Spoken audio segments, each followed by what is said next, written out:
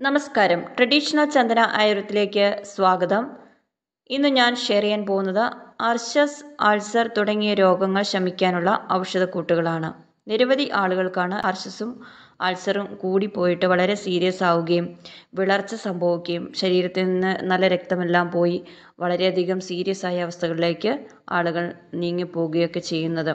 ഇതിന് ശരിയായിട്ടുള്ള പ്രതിവിധികൾ ലഭിക്കാതെ വളരെ കഷ്ടപ്പെടുന്ന ആളുകളുണ്ട്. അവർക്കുള്ള ഏതാനും ചില ഔഷധക്കൂട്ടുകളാണ് പറയാൻ പോകുന്നത്. ഒന്ന് രാമച്ചം താമരയല്ലി താമരവളയം ചന്ദനം ശതാവരിക്കിഴങ്ങ് കുടകപ്പാലേരി ആടലോടകത്തിന്റെ വേര് മുത്തങ്ങ എന്നിവയെല്ലാം ഇരുപത്തഞ്ച് ഗ്രാം വീതം എടുക്കുക ചതച്ച് രണ്ട് ലിറ്റർ വെള്ളത്തിൽ കഷായം വെച്ച് ഒരു ലിറ്ററാക്കി വറ്റിച്ച് വാങ്ങിയിട്ട് അമ്പത് മില്ലി വീതം രണ്ട് നേരം കഴിക്കുക. കരിവേല പട്ട കൊണ്ടുണ്ടാക്കിയ കഷായം ശതാവരി കിഴങ്ങുകൊണ്ടുണ്ടാക്കിയ കഷായം ഇത് രണ്ടും രക്താസസിനെ ശമിപ്പിക്കാനായിട്ട് സഹായിക്കും. മറ്റൊരു ഔഷധമാണ് അമിതമായ രക്തം പോക്ക് വർദ്ധിച്ചാൽ ചന്ദനം മോരിലരച്ച് സേവിക്കുന്നത് വളരെ പെട്ടെന്ന് രക്തം ശമിക്കാനായിട്ട് സഹായിക്കും. മറ്റൊന്നാണ് ആടലോടകത്തിന്റെ വേര് താമരയല്ലി ചുവന്ന കടലാടി മുത്തങ്ങ ഉടകപ്പാല വേർത്തൊലി ശതാവരിക്കിഴങ്ങ് എന്നിവ കൊണ്ട് ഉണ്ടാക്കിയ കഷായം രണ്ടു നേരം കഴിക്കുന്നത് രക്താർശസ് ശമിക്കാനായിട്ട് സഹായിക്കും. വളരെ പെട്ടെന്ന് ബ്ലീഡിംഗ് കുറയാനുള്ള മറ്റൊരു ഔഷധക്കൂട്ടാണ് ചന്ദനം.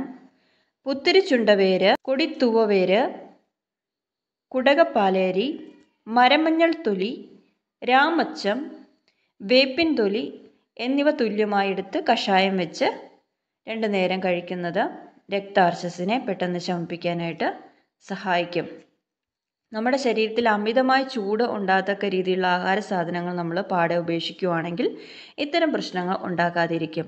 അതായത് അമിതമായി കോഴിയിറച്ചി കഴിക്കുക അമിതമായിട്ട് പോത്തിറച്ചി കഴിക്കുക കോഴിമുട്ട കഴിക്കുക ചൂട് ചായ കഴിക്കുക. അമിതമായിട്ട് ചൂടുള്ള ആഹാര സാധനങ്ങൾ നമ്മൾ കഴിക്കുന്നത് വഴി ചെറിയ ചെറിയ കുരുക്കളും അത് വലിയ അണുക്കളായിട്ട് മാറുകയും ഓവർ ബ്ലീഡിംഗ് ഒക്കെ ഉണ്ടാക്കുകയും ഇത് വായിലെയും വയറ്റിലെയും എല്ലാം തൊലി പോവുകയും സീരിയസ് ആയ അവസ്ഥകളിലേക്ക് കടന്നു പോവുകയും ചെയ്യുന്നു മനുഷ്യൻ.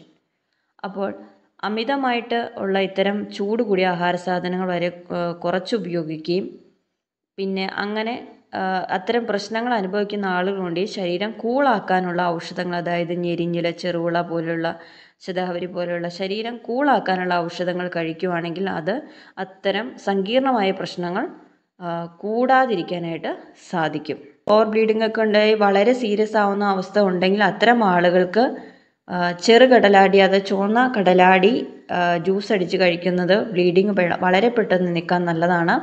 അതുപോലെ ആനച്ചൂടി പാവട്ട തുടങ്ങിയ ഔഷധങ്ങളൊക്കെ ജ്യൂസ് അടിച്ച് കഴിക്കുകയോ കഷായം കുറച്ചധികം എടുത്ത് കഷായം ഉണ്ടാക്കി കഴിക്കുകയോ ഒക്കെ ചെയ്തിട്ടുണ്ടെങ്കിൽ വളരെ പെട്ടെന്ന് ഇതിന്റെ അണുക്കൾ ഇല്ലാതെയാവുകയും രോഗി വളരെ പെട്ടെന്ന് സുഖം പ്രാപിക്കാനായിട്ടും സാധിക്കും. ഒത്തിരി ആളുകളുടെ പ്രശ്നമായതുകൊണ്ടാണ് ഇത്തരം ഔഷധക്കൂട്ടുകൾ പറഞ്ഞു തരുന്നത്. ഇത് ഉപയോഗിക്കുന്നവർക്ക് ഒരുപാട് പ്രയോജനം ചെയ്യും. മറ്റൊരു അറിവുമായിട്ട് മറ്റൊരു വീഡിയോയിൽ വരും വരെ നന്ദി നമസ്കാരം.